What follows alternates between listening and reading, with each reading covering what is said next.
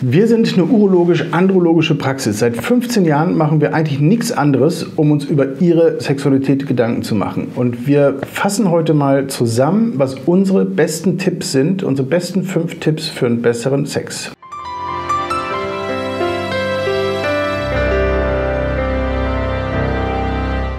Hallo, Dr. Oliver Graller aus Köln. Ich bin Androloge und Urologe in der Urologie am Köln. Ich gebe Ihnen heute eine Zusammenfassung aus 15 Jahren aus meiner Praxis äh, in Bezug auf Sexualität. Äh, ich werde Ihnen in diesem äh, Video ein paar Sachen über generell über die Möglichkeiten einer verbesserten Erektion, über die Verbesserung einer Ejakulation, über die Lust und Libido generell, so ein paar psychische Hintergründe, was man sich durch den Kopf gehen lassen könnte und die Möglichkeiten der Vasektomie, also der männlichen Verhütungs-OP, was ihre die Sexualität und die Empfängnisverhütung deutlich entspannen kann. Ganz wichtig für eine vernünftige Sexualität ist natürlich die Erektionsfähigkeit. Ähm, wenn die Erektion nicht funktioniert, dann, man kann auch Sex ohne Erektion haben, aber mit Erektion wissen Sie selber deutlich besser.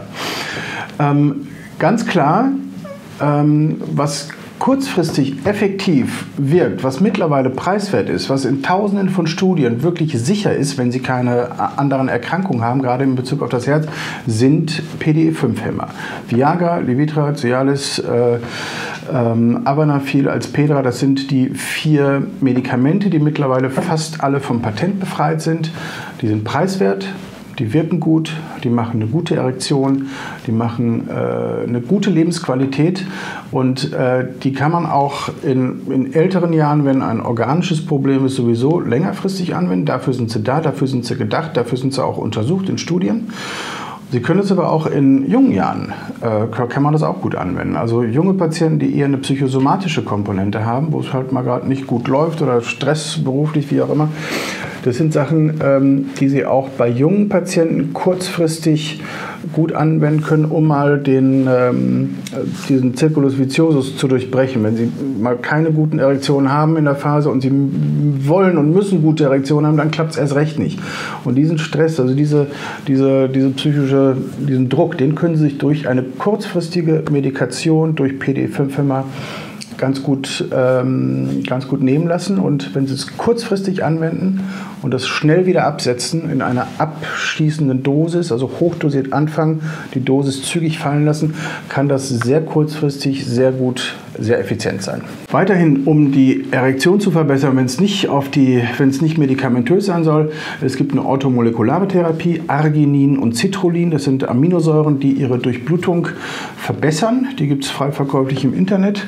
Wenn man das hochdosiert, also in einer vernünftigen Dosis nimmt, können Sie auch über diese orthomolekulare Therapie Arginin oder Citrullin die Erektionsfähigkeit verbessern. Gibt es in Online-Apotheken ohne Rezept zu kaufen, ist fürs Herz gesund, wenn Sie das in einer vernünftigen Dosierung anwenden. Wenn Sie als junger Mann oder auch in den älteren Jahren eine Erektion bekommen, also dass der Schwellkörper an sich funktioniert, aber die Erektion geht schnell wieder weg, dann kann es sein, dass Sie ein Problem mit Ihrer Beckenbodenmuskulatur haben oder dass Sie über eine Stärkung der Beckenbodenmuskulatur die Erektionslänge verbessern können. Das heißt, entweder gezieltes Beckenbodentraining, also Beckenbodenmuskulatur, finden Sie bei YouTube auch äh, Tutorials, wo Sie Beckenbodentraining machen können oder aber sehr gezielt, sehr effektiv, relativ neu, aber auch sexy, äh, eine Elektrotherapie, um den, mit einer Elektrotherapie die Beckenbodenmuskulatur und genau die Muskeln, wo es darauf ankommt, dass man die stärkt. Es gibt ein paar physiotherapeutische Praxen in Köln, die das anbieten. Es gibt auch deutschlandweit ein paar wenige Praxen. Elektrotherapie zur Beckenbodenstärkung ist eine sehr gute Methode. Äh, letztes Thema, zum, um die Erektion, also die Durchblutung zu verbessern, also die Erektion, wenn Sie ein organisches Problem haben, Cholesterin, Diabetes, Bluthochdruck oder Sie sind vielleicht keine 25 mehr, sondern vielleicht 60, 70 oder so in der Richtung. Sie können die Durchblutung des Schwellkörpers können Sie verbessern durch eine gezielte Stoßwellentherapie. Da wird nichts, im, wird nichts zerschossen im Schwellkörper, sondern es wird durch einen Reiz, der in den Schwellkörper angelegt wird, das ist so ein leichtes Tackern, äh, wird, äh, werden ähm, Wachstumsfaktoren ausgeschüttet und es wachsen neue Blutgefäße nach und nach. Das kann man auch medikamentös unterstützen. Und diese vermehrtes, dieses vermehrte Blutgefäßwachstum verbessert ihre Erektion. Gibt es schöne Studien, die das toll nachgewiesen haben. Bieten wir bei uns an. Gute Methode. Nächster Punkt für eine erfüllte und schöne Sexualität ist die Ejakulation, also die Zeit bis zur Ejakulation. Ähm, es gibt für eine, eine verfrühte Ejakulation ist definiert als unter zwei Minuten, ganz grob, wenn es um die Zeit geht. B, dass es nicht steuerbar ist, dass man also die Ejakulation überhaupt nicht hinauszögern kann. Und C, dass auch die Partnerin davon in irgendeiner Art und Weise belastet ist. Wenn das zusammenkommt, dann spricht es für eine Ejakulationsstörung. Es gibt zwei zugelassene Medikamente, wie man das gut behandeln kann. Das ist einmal ein Spray, womit die, ähm, die Reizbarkeit an der Eichel unterdrückt wird, dass man nicht so sensibel ist. Funktioniert mitunter ganz gut. Und es gibt eine Tablette, die man verschreiben kann. Die ist auch geprüft in einer großen Studie. Da haben wir sogar hier in der Praxis mitgemacht. Ich habe da hunderte Patienten äh, mit untersucht. Ist gut wirksam und diese Tablette kann die Ejakulationszeit vervier- bis verfünffachen. Das heißt, wenn Sie bei zwei Minuten liegen, landen Sie dann bei zehn Minuten. Und der durchschnittliche Geschlechtsverkehr, wenn man davon sprechen kann, dauert irgendwas je nach Studie plus minus fünf Minuten. Also wenn Sie sich bei zehn Minuten einpendeln, alles richtig gemacht. Ähm, des Weiteren gibt es ähm, Möglichkeiten, dass man für die Ejakulation eine Creme auf die Eichel aufträgt. Das ist auch eine äh, lokal Salbe, die ihre ähm, Ejakulationszeit verlängern kann, weil es eben ein bisschen desensibilisiert wird. Da muss man aufpassen, dass man nicht zu viel aufträgt, weil damit können Sie nämlich auch Operationen durchführen, was wir teilweise machen. Das heißt, wenn Sie diese Creme sich besorgen, ganz vorsichtig aufnehmen, so ein halbes Reiskorn auftragen, hinterher wieder abwischen. Damit kann man das ein bisschen desensibilisieren, sodass der Reiz zur Ejakulation deutlich unterdrückt ist. Eine weitere Möglichkeit, um die Ejakulationszeit zu äh, verlängern, sind Off-Label-Medikamente. Ähm, bis es wirklich zugelassene Medikamente gab, ähm, gab es eine Menge Möglichkeiten im Bereich Prostatatherapie, Schmerzmedikamente, Psychopharmaka, die die Ejakulationszeit auch verlängern können. Die könnte man ihnen auch verschreiben, die sind allerdings nicht zugelassen und deswegen muss man ziemlich genau besprechen, ob die für sie in Frage kämen und wann die für sie in Frage kämen. Aber auch die können die Ejakulationszeit deutlich verlängern und damit auch äh, ihren Sex und ihre Lebensqualität in der Partnerschaft verbessern. Also wir hatten Erektion, wir hatten die Ejakulation. Um, vernünftig, um Spaß beim Sex zu haben, sollten Sie natürlich auch Lust auf Sex haben. Und es äh, ist nicht ganz so selten, dass auch jüngere Patienten zu uns kommen, die sagen, eigentlich wir haben eine tolle Beziehung und alles super, aber ich habe irgendwie keinen Bock mehr und äh, die Lust schwindet und ich kann mich nicht richtig aufraffen. Was wir hier bei uns in der andrologischen Praxis machen können, ist natürlich, äh, dass wir ihren Testosteron und ihren, ihren Hormonhaushalt messen. Ja, da kann, das kann man, ähm, kann man ganz gut darstellen in den Blutwerten und kann auch ihre Lebensqualität in, sowohl im Bereich Sexualität, Lust, äh, Körperlichkeit äh, und Psyche kann man, kann man ihren Testosteronhaushalt und ihre Lebensqualität in Bezug auf Testosteron messen. Mitunter korreliert das ganz gut, dass sie einen niedrigen Testosteronspiegel haben und eine ausgeprägte Symptomatik. Dann macht es auch auf jeden Fall Sinn, das zu therapieren, wenn sie ähm, in, in den Situationen, wo es dann Sinn macht. Manchmal ist es so, dass, die, ähm, dass es so in Richtung Lifestyle-Therapie geht, dass sie vielleicht niedrig normale Werte haben, aber trotzdem eine ausgeprägte Symptomatik. Dann gibt es Leitlinien für die Testosterontherapie, die da natürlich zurückhaltend sind, dass nicht jeder sofort Testosteron bekommen muss oder soll. Wenn sie aber Bedarf haben und wenn das sich äh, in der Lebensqualität darstellt, kann man auch mal im Rahmen einer Lifestyle-Therapie Testosteron geben, um das so ein bisschen anzuschubsen, wenn das denn, wenn das denn äh, Sinn macht und wenn, sich, wenn sie davon eine Verbesserung verspüren. Was auch manchmal schwierig ist, äh, die Lust zum Sex im Rahmen eines Kinderwunsches. Ähm, das Problem ist häufig, wenn sich über eine längere Zeit der Kinderwunsch noch nicht eingestellt hat äh, und man dann so ein bisschen nach Kalender Sex hat, das macht es auch nicht unbedingt für den Partner einfacher. Eine ganz wichtige ähm, Regelung oder ein wichtiger Hintergrund, den Sie im Kopf haben sollten, im Rahmen des Kinderwunsches haben Sie nach ungefähr zu 60 Prozent nach sechs Monaten eine Schwangerschaft. Sie haben nach 90 Prozent nach zwölf Monaten eine Schwangerschaft zu erwarten und Sie haben zu 95 Prozent nach 24 Monaten eine Schwangerschaft zu erwarten, wenn Sie regelmäßig Sex haben. Das heißt, Sie müssen also nicht so in den ersten paar Monaten gleich nach Kalender äh, zusammenkommen. Das kann die Sache manchmal ein bisschen erschweren und es macht es dann auch nicht immer einfacher.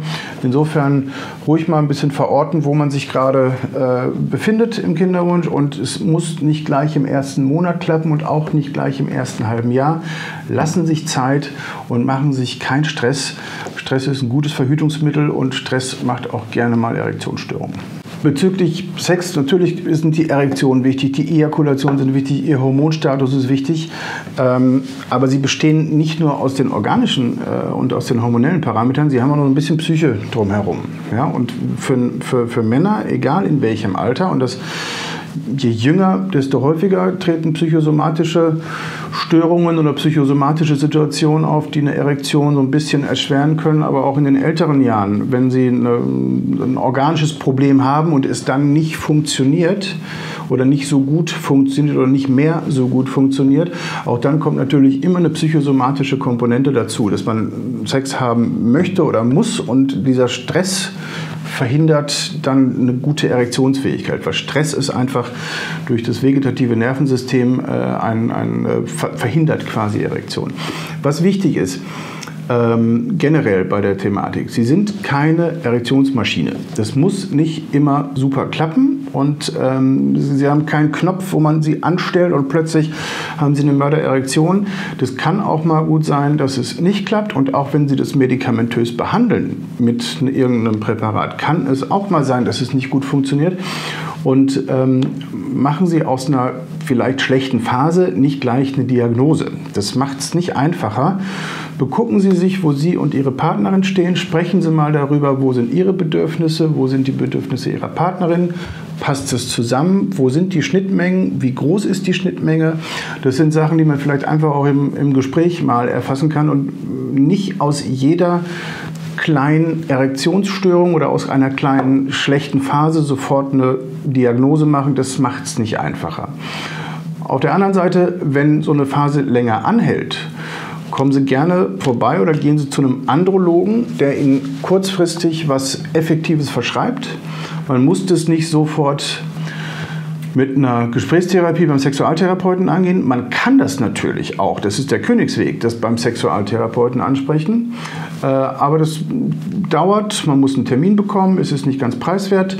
Ähm, und man kann das manchmal kurz und effektiv auch mit einer medikamentösen Therapie anschubsen, dass der Karren wieder rollt und das reicht häufig aus. Der letzte Punkt, um eine entspannte und äh, glückliche und ähm, gute Sexualität zu haben, Manchmal macht es Sinn, äh, darüber nachzudenken, ob man, wenn es um Verhütung geht, wenn, die, wenn äh, der Kinderwunsch abgeschlossen ist, ähm, macht es manchmal Sinn, über eine Vasektomie nachzudenken. Das ist die sicherste Form der Verhütung. Da haben Sie überhaupt keinen Stress mit dem Thema äh, weitere, Nachwuchs oder, oder Schwangerschaft. Äh, Sie ersparen Ihrer Partnerin die Pille, was ähm, auch für die Partnerin und auch für die Beziehung äh, ziemlich gut und förderlich sein kann. Ich nenne das Emanzipation 2.0, wenn der Mann sich um die äh, Familienplanung kümmert. Das Wichtige und das Wichtigste bei der ganzen Geschichte ist, äh, man kann eine Vasektomie, also wenn man das, den Samenleiter durchtrennt, kann man wunderschön und mit, einer sehr guten, äh, mit sehr guten Ergebnissen zurückoperieren. Das heißt, auch wenn Sie sich mit 35 vielleicht dazu entscheiden sollten, der Kinderwunsch ist abgeschlossen, Sie haben ein oder zwei Kinder oder vielleicht haben Sie auch kein Kind, äh, kann man die Operation durchführen lassen mit dem Blick darauf, dass wenn sich irgendwann was tun sollte in der Lebensplanung, dass man das mit einer hohen Wahrscheinlichkeit oder mit einer guten Wahrscheinlichkeit, dass es wieder durchgängig ist, ähm, dass man das zurückoperiert. Also Vasektomie, wenn Sie es grundsätzlich, sollte das natürlich eine, eine, eine, Entscheidung sein, die Sie auch fällen können, weil Sie sich davon überzeugt sind. Aber es ist nicht in Marmor gemeißelt und man kann die Operation rückgängig machen. Ich hoffe, ich hatte Ihnen so ein paar Sachen gesagt, die, die wir uns hier in den letzten 15 Jahren durch den Kopf gehen. Das war quasi so eine kleine Zusammenfassung von dem, was entspannte und eine gute Sexualität ausmacht.